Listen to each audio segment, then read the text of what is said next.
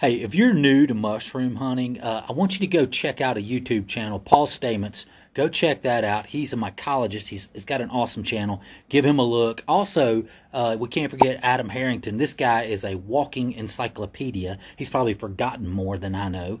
that guy's spooky, man. He can just rattle off the facts. Anyway, uh, go definitely go check them out and learn some stuff from them because uh, they're they're both great channels. Um, you might be asking, well, where does that leave me? Well, I'm in a third of the group that makes the upper two thirds possible. That's kind of how I present it to myself. You know, I have to for self esteem reasons. you got to know your lane. anyway, come on by the channel, man. Check us out. Let's have some fun mushroom hunting. I'll talk to you.